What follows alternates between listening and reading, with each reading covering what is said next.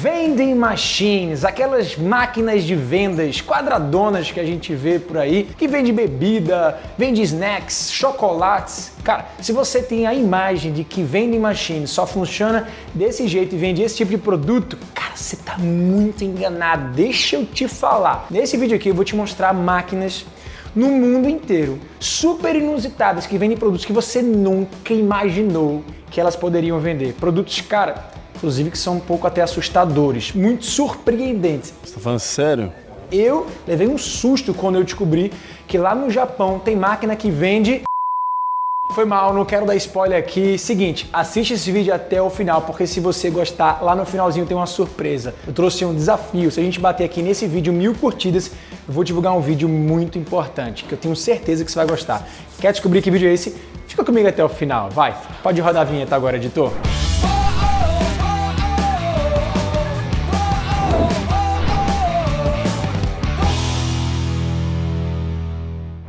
Fala player, seja muito bem-vindo a mais um vídeo do meu canal. Me chamo Rafael Matos, esse aqui é o maior canal de franquias, empreendedorismo, negócios que existe no Brasil. Já somos mais de 200 mil inscritos, então uma salva de palmas. Você já sabe, se você é inscrito, se você me acompanha, você já sabe que, cara, a minha grande missão de vida é fazer com que você se transforme num player. Falando sério, pessoal, tô cansado de ver gente pulando de um vídeo para outro, apertando o botão do play e nunca tira uma ideia do papel, nunca vai para ação, não executa nenhuma ideia. E eu tenho uma grande convicção de que ideias não valem nada se você não bota elas em ação. E é por isso que eu criei esse movimento chamado player. Eu quero que você ative o modo protagonista da sua vida e pare de ficar assistindo ela pela arquibancada e sim entre para campo. Beleza? Então se você é player, comenta aí embaixo aqui, ó, hashtag eu sou player. Show de bola? Ó, falando aqui sobre vending machines, cara, eu já publiquei diversos vídeos aqui no meu canal falando sobre máquinas lucrativas, listas de máquinas que você pode investir, comprar, ganhar dinheiro aqui no Brasil. Porque, cara, é um modo muito fácil de você ganhar dinheiro. Afinal, a máquina trabalha por você. Você bota a máquina em um lugar, fica abastecendo ali os produtos, né, os insumos, e aí você tira ali a tua grana no final de um mês, no final de uma semana, seja através do cartão de crédito, né, um sistema que a própria máquina vai ter ali, ou até mesmo nas moedas e das cédulas que essas máquinas vão estar recebendo, tá? E esses vídeos eles bombam principalmente porque eu sempre trago coisas diferentes, mas cara, dessa vez eu mesmo me surpreendi com a pesquisa que eu fiz, porque eu fui lá para o Japão, eu fui lá para os Estados Unidos, obviamente tudo pela internet, né? Você é o bichão mesmo, hein, doido? Eu fui descobrindo cada coisa, bicho, e eu vou contar para vocês todas essas ideias. Algumas vão surpreender, outras são ilegais aqui no Brasil. Até podem até te dar ideias de produtos para você vender em máquinas aqui mesmo no Brasil. E sabe por que eu tive que ir lá para fora? Porque o mercado de vending machines aqui no Brasil, ele é muito verde, ele é muito inexplorado ainda. Só para você ter uma noção, olha esse dado aqui. A gente tem no Brasil um pouco mais de 100 mil máquinas dessas, tá? Você acha isso pouco ou muito? Isso significa uma máquina para cada 2.500 habitantes. Agora indo lá para os Estados Unidos, cara, eles têm uma máquina para cada 90 habitantes, o que totaliza 3,5 milhões de máquinas de vending machines espalhadas nos Estados Unidos inteiro. Agora, o mais impressionante é o Japão. Cara, o Japão é caso sério. Eles têm uma máquina para cada 30 pessoas, ou seja, uma máquina em cada esquina, literalmente, ou não, diversas, né? E no total, gente, são mais de 5 milhões de máquinas. Esse mercado lá fora, nos Estados Unidos mesmo que a gente tem esse dado, ele movimenta mais de 35 bilhões de dólares. Ou seja, um mercado de muito potencial, que é uma mega tendência. E que aqui no Brasil a gente ainda enxerga um oceano azul. E eu fiquei mega intrigado, eu fui até pesquisar por que que no Japão está acontecendo. Cara, os japoneses, eles estão num caso sério. Existe um problema muito grande de relacionamento interpessoal. As pessoas no Japão, elas não se relacionam mais umas com as outras. Só para você ter uma noção, existe um dado que divulgou que nos milênios, que é essa geração de pessoas mais jovens, né, 70% dessa população de milênios no Japão não tem relação sexual regular e 30% delas ainda é virgem. E aí você pode estar pensando, mas Rafael, o que, que isso tem a ver com o mercado de vending machines? Tudo. Porque se você parar para pensar, se as pessoas elas têm vergonha de falar uma com as outras, se elas não têm o costume de estar se relacionando com pessoas e elas se acostumaram a se relacionar muito mais com máquinas e robôs, computadores, celulares e vending machines, elas não vão para uma loja que tem uma pessoa vendendo, elas vão para uma máquina e vão comprar o que elas querem sem precisar ter interação com ninguém. E é aí onde a gente chega uma das máquinas mais inusitadas que eu já vi na minha vida. No Japão existe uma máquina que vende filhote de cachorro, um animal vivo. Igual uma máquina daquelas que você compra refrigerante. Você escolhe o cachorro pela raça, pela cor, é, e existe ali na parte de trás um reservatório que os cachorros ficam lá, né, presos, guardados. Quando você aperta o botão, o cachorro sai pelo buraco de baixo, gente. Imagina que louco. What?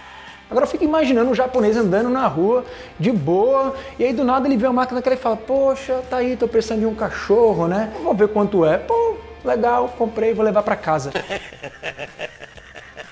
E a lista de animais vivos que são vendidos em vending machines não para em filhote de cachorro, não. Sabe aquelas máquinas que você compra ursinho de pelúcia, que existe uma garra e você vai ali controlando ela? Cara, existe uma máquina lá que você compra lagosta viva, numa garra e você vai brincando e vira ali uma espécie até de entretenimento. E aí, dá para acreditar? Aí quando a gente vai lá para Singapura, a gente vê um prédio gigante assim de 15 andares, mas aquilo ali é uma grande vending machines que você compra carros. é isso mesmo, gente, dá até para comprar carro numa vending machine. Quem inclusive fez isso pela primeira vez foi aquela marca Smart, aquele carro pequenininho que cabem duas pessoas e que você consegue estacionar ali na posição contrária. E essa vending machine, ela tem lá o carro exposto, tá? Você realmente paga ali na hora e lá em Singapura, Japão, nos Estados Unidos, carro é muito barato, né? Então, de fato, você pode passar o teu cartão ali e comprar o teu carro e sair com ele dirigindo. E lá em Seattle, uma cidade nos Estados Unidos que fica ali na costa pacífica, sabe o que, que eles vendem nas máquinas de venda? Maconha. Bem louco! É isso mesmo, gente. Existem diversas máquinas espalhadas em diversos lugares lá em Seattle que você no meio da rua tá lá, escolhe ali a maconha que você quer, paga e você sai, pode até fumar na rua e pode fumar em casa. Isso só é possível porque na legislação do estado de Washington, onde fica ali a cidade de Seattle, é permitido a maconha para uso recreativo, tá? Então, alguns estados dos Estados Unidos têm a sua própria legislação. Alguns permitem o uso de maconha para é, uso medicinal, outros para uso recreativo também. Lembrando, não vão fazer nada disso aqui no Brasil porque nenhuma dessas atividades é legal, tá? Nem venda de animal vivo nem venda de maconha também. Mas, Rafael, o que, que a gente pode fazer aqui no Brasil então? Que tipo de produto você acha legal para a gente poder vender em vending machines? Hum, tem várias coisas, ó. A gente já viu aqui no Brasil, principalmente em São Paulo, as vending machines de flores naturais, que ela é refrigerada, né? Tem uma temperatura ali de 10 graus, consegue conservar as flores. Pô, uma vending machine bem bacana. Tem as vending machines de pizza, né? Você compra a pizza e vai ficar pronta em 3 minutos. Cara, bem legal. Já tem algumas até em funcionamento. O mais importante aqui é você enxergar que as pessoas compram produtos em vending machines por dois motivos. Primeiro, ela pode ser pega ali numa compra por impulso, ou seja, ela não planejou aquela compra, ela não preveu aquela compra, mas por ter a comodidade, por ter a facilidade de ter uma máquina ali prontinha com o produto pronto para ele comprar, casando a uma necessidade ou uma dor específica que ele tem, tá ali. A decisão de compra fica muito fácil. E em segundo lugar, as pessoas compram produtos em vending machines quando não existe outra alternativa. A sua dor naquele momento é muito latente, você precisa resolver aquilo e não tem nenhuma outra forma de você poder resolver. Eu, por exemplo, já passei por uma situação dessa quando eu estava no aeroporto lá nos Estados Unidos, viajando, fazendo uma viagem internacional. Eu precisava urgentemente de um cabo para carregar o meu celular, uma bateria externa, alguma coisa nesse sentido. E eu estava ali prestes a embarcar. E isso ela estava descarregando, eu tinha esquecido o carregador no hotel. O que, que eu fiz? Cara, olhei para um lado, olhei para o outro. Do lado do meu portão de embarque tinha uma vending machine que vendia acessório de celular, capinha, cabos, baterias, fones de ouvido. Cara, eu fiz a minha vida ali. De verdade, gente, vending machine salvam vidas. Já salvou a minha, pelo menos. E é exatamente nisso que você precisa pensar, tá? Precisa pensar em pontos inteligentes. Por exemplo, ó, no aeroporto, cara, é muito cômodo você vender numa vending machine no aeroporto, como eu já falei aqui, acessórios para celulares, cabos, ou até mesmo vendendo chiclete. Muita gente gosta de comer chiclete voando, porque você consegue despressurizar um pouquinho né, o seu ouvido. Então, cara, tem muita coisa boa que você consegue vender ali no aeroporto, mapeando as necessidades do consumidor naquela área. Agora, por exemplo, a academia. Vê que legal, existe uma máquina lá nos Estados Unidos, numa academia que tem um modelo ali self-service, porque na academia não existe uma lanchonete, não existe uma lojinha que venda alguns produtos, como por exemplo proteínas, barrinhas de proteína, toalhas, energéticos, pré-treino, água, tudo isso você consegue botar numa máquina dentro ou do lado de fora de uma academia, cara, e vender muito bem. Lugares turísticos, por exemplo, cara, quantos turistas não viajam para um lugar e esquecem, por exemplo, de trazer protetor solar, sandália, óculos, boné, tudo isso você consegue vender em lugares E a última ideia que eu quero te falar aqui são condomínios. Se você mora num condomínio, você com certeza já teve a necessidade de comprar algum produto rápido ali, seja um produto de limpeza para sua casa, seja um produto de higiene pessoal, uma pasta de dente, um shampoo, um sabonete, e você não queria ir para o mercado pegar o carro, ou então pedir né, pelo aplicativo. Se você tivesse uma vending machine que vendesse esses tipos de produtos no teu condomínio, cara, seria a coisa mais prática e fácil. E pensando nisso, o empreendedor que é inteligente, claro, ele pode cobrar um valor bem mais alto do que esse produto ele é vendido, por exemplo, nos mercados, justamente porque tem ali uma venda de valor agregado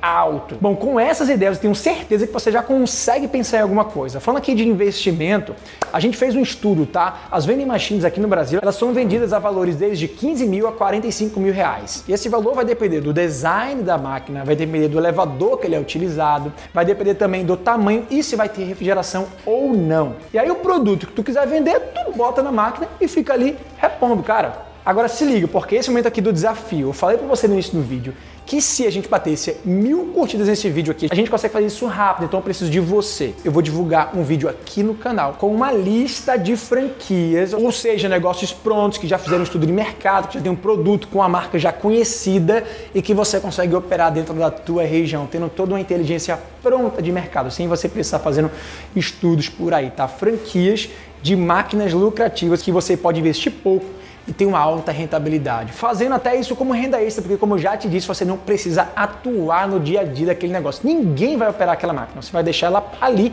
vendendo sozinha. E aí, topa o desafio? Então curte esse vídeo e compartilha pra galera. A gente chegando em mil curtidas, eu divulgo esse vídeo. Valeu, um grande abraço, player, te encontro na próxima. Fui!